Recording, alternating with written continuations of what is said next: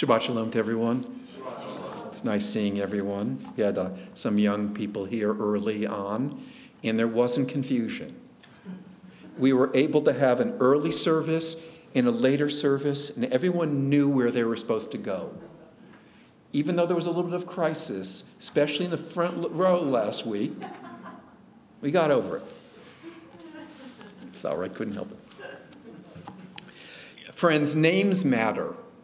And when Jane and I became parents, and I, I know you guys, you spent like decades contemplating Everly's name. I have no idea how you got to that beautiful name, but we're not going to ask you. But I'm going to tell you about my, our name. Okay, so when Jane and I were, became parents, we struggled with our children's names, and there were certain criteria about what the name had to be. It needed to be a Hebrew name. I wanted our children to have one identity, Hebrew and same name. They're Leora and Noam, they're both Hebrew names. It needed to be able to be pronounced. There wasn't going to be Chaim. There wasn't going to be, God knows. It had to be, of course, connected to a um, deceased relative it had to have a special meaning. Noam means a delight. Leora means a light unto, um, a light unto the nations. And, and this was critical, when we were yelling at them, the name had a fit. So I, I'm not exaggerating this. So we'd say, we'd practice, Noam, come here. It sounds good. Leora, could you go to your room? So that's, that's how the names got into being, and they, they've worked. They, that's absolutely true. I'm not exaggerating. Now, our biblical reading for this Shabbat provides a way for us to examine the issue of names. God speaks to Moses and reintroduces God's self to Moses, and it is a rather mysterious statement that he makes. Um, God says, God spoke to Moses and said to him, I am the Lord I appeared to Abraham, Isaac, and Jacob as El Shaddai, but I did not make myself known to them by the name Yud He Vav He, the name, you know, when someone says Hashem, that's what, or Adonai, it's in place of Yud He Vav He. We don't say the name, okay? We don't really know how to say the name. An approximation would be Yahweh if you heard that name, but it's not how it was pronounced, but Yud He Vav He. Now, El Shaddai, now, what's the difference between calling God El Shaddai, God Almighty, and this new personal name, Yud He Vav He, which no one is sure how to pronounce? And what does it mean that this name was not known before? It's just not clear what's being said in the Torah. The name issue becomes more complicated in the Torah. God has many names. For example, last week Moses asked, What shall I call you when the people ask me, What is your name? And we hear this mysterious response, Ehyeh Asher Ehyeh, tell them, the best translation is, I will be what I will be. A mysterious name for an elusive God. But this isn't the end of the story. There are many additional names for God, and I decided to give you a partial list and I'm not going to stop until I'm at the end of the list. I got three pages of them. So hold on, buckle your seatbelts. El, which means strength, might, power.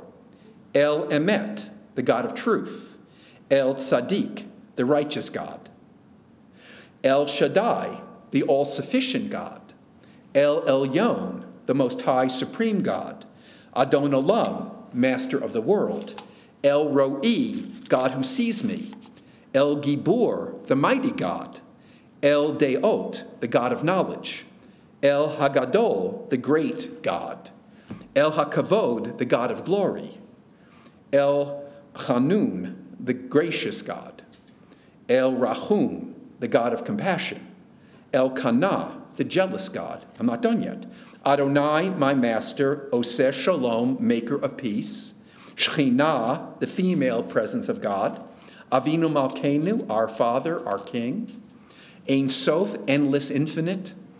Ha Kadosh, the Holy One. Makom, the place. Tzur Yisrael, Rock of Israel. Yotzer Or, the fashioner of light.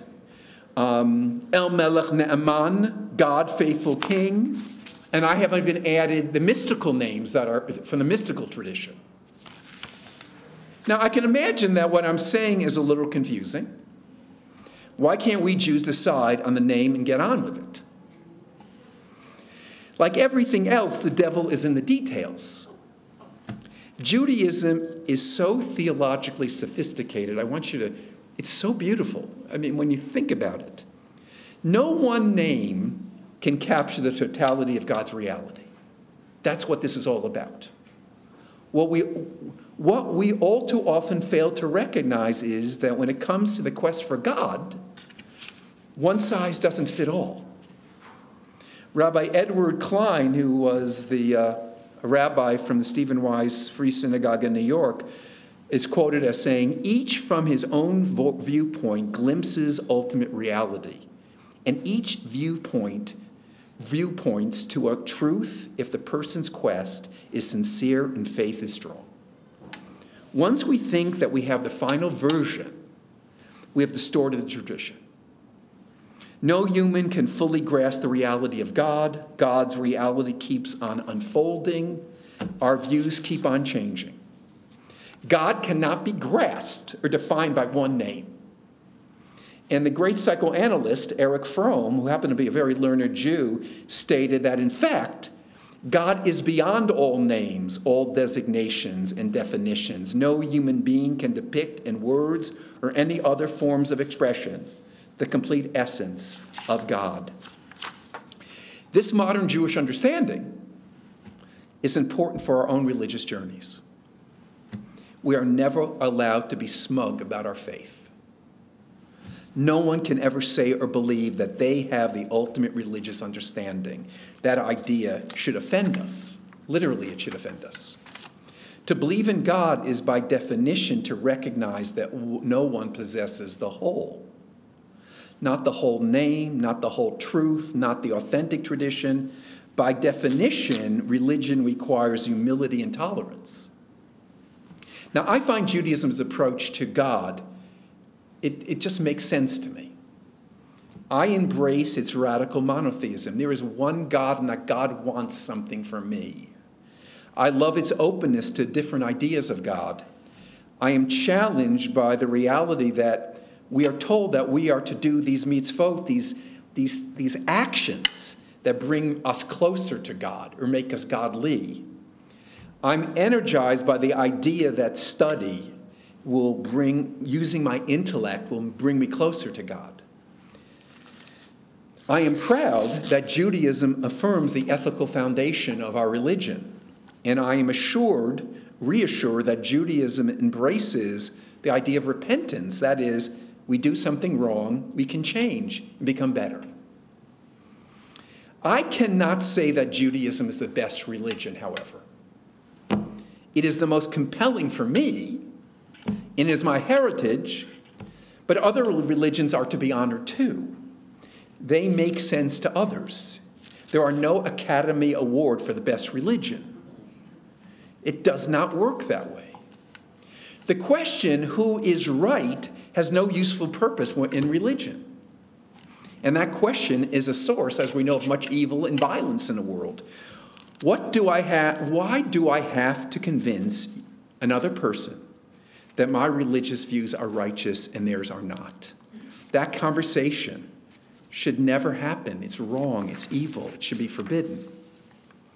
Now, let me share with you, and I, by accident, I stumbled on this thing, and it was written January 14th. I don't know how I stumbled on it, but I stumbled on it. There was a newspaper article written by a Pentecostal minister named Paul Prather on January 14th, 2023 at 2:47 a.m. Okay? That's when it was posted to some paper. I don't, I don't, I don't, I, but again, I don't know how I got it, but it's good.